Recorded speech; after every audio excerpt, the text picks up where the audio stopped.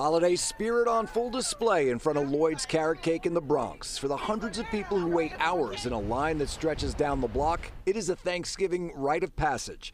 A magical mix of flour, sugar, eggs, cinnamon, baking powder, and of course, carrots. How long did you wait?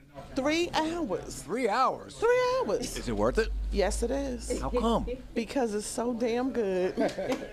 there you go. It is so damn good. That's it. Is it worth it? Absolutely. I wouldn't be here otherwise because it's the best carrot cake there is. Owner Lilka Adams says she probably slept a total of only seven hours over the last three days.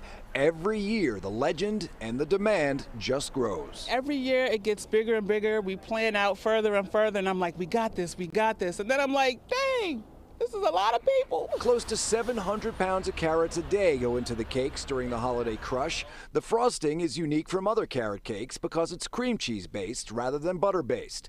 Lloyd Adams started the business back in 1986 with a secret recipe from his Caribbean grandmother.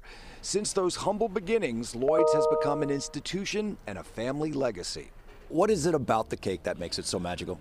I mean, I think, you know, it's just a family legacy at hand here. Um, you know, my father started this back in the 80s. Um, he passed away in 2007. My mom took it over in 2007, and she passed away in 2020. And it was it was only right that we, you know, continued that. They put their blood, sweat, and tears. Is it a family tradition for you guys?